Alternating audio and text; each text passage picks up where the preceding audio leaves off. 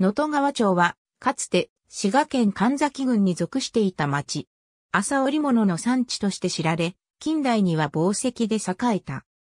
大見商人発祥の地の一つとしても知られる。滋賀県の中央部に位置し、町域の北西部が琵琶湖に面する。町東部を愛知川が流れ、彦根市、越川町との境界を成した。町内の西寄りから中央部にかけて大道川が流れる。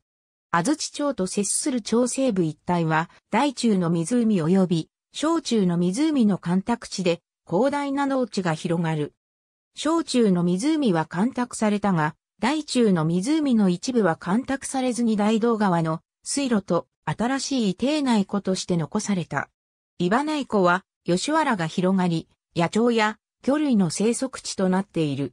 町南部には木の笠山がそびえ、東近江市及び安土町との境界をなす。東近江市との境界には、和田山、旧安土町との境界には、安土山もある。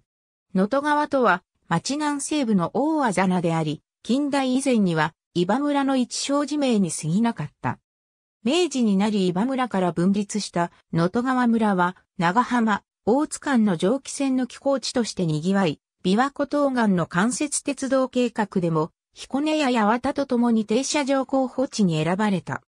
その後、計画が変更され、停車場は、能登川村から約 1km 離れた、五宝村と八幡村の境に開設されることになったが、駅名には、能登川が採用され、行政名と駅名が一致しない時代が続いた。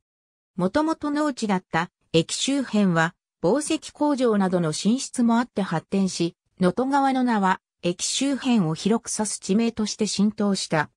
その後、1942年の新町発足に際して、駅名から能登川が町名に採用され、駅所在地の行政名と駅名が同じになり、合併までその状態が続いた。